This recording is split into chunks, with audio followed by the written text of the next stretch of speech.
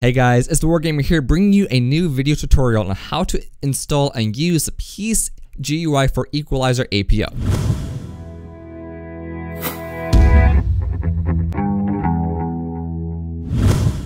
Alright, so first things first, you already want to go ahead and install the Equalizer APO. If you've yet to do that, click on the little iCard right there, and it's going to show you step by step on how to install the Equalizer APO and set it up properly.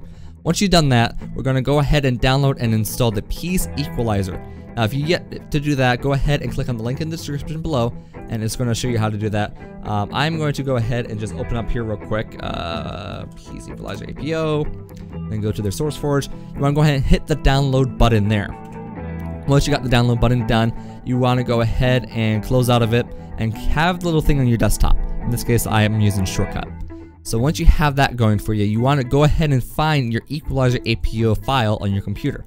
In my case, I have to go to this computer, local uh, local disk, C, program files, Equalizer, APO, and then um, config.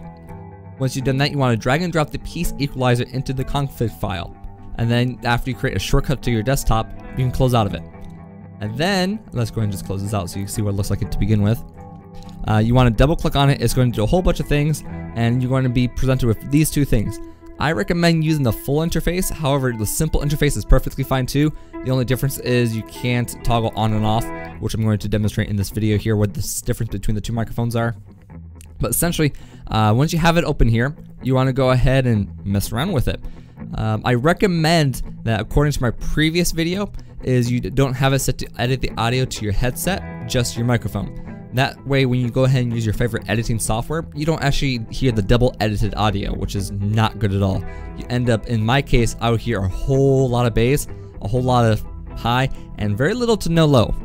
So after you got that gun done going for you, uh, you want to go ahead and actually this new thing is actually included. It's called prevent uh, peak value meter. It's to prevent clipping.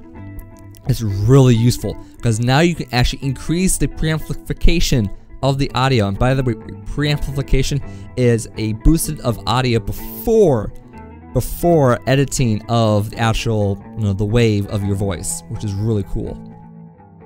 So I recommend for guys, you go ahead and click on the bass and high boost, and then um, I already did an edit of that just now. But for females, um, it's really hard to say because I don't have my sister here. She'd be a prime example of how to edit her voice because she's female. She's actually alto slash soprano voice. It, it, varies from person to person. But other than that, you want to go ahead and do that. And here's a little um, a little sample of between off, which is the standard, and on, which is what I prefer to have.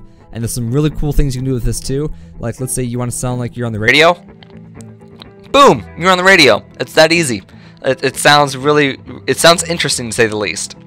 So me, I'm gonna go back to my boost, or my, my bass and high boost, because I like that a lot, and I also edited it myself. And once you're done, you do that, you can either click to tray or done. I'm gonna click done, because that's it.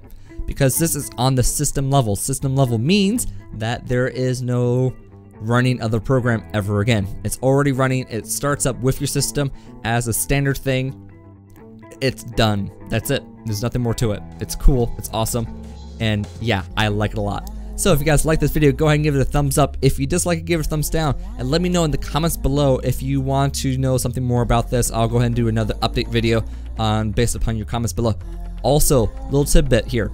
I was using OBS to record this, yes. So OBS is, let me put my thing down there. Cool.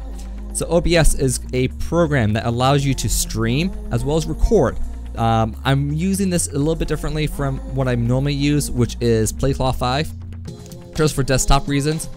But let me know in the comments below also on how the quality is of the video compared to my previous videos. Uh, that'd be much appreciated. Other than that, this has been the Wargamer signing out. Hope you guys enjoyed, and I'll see you guys next time.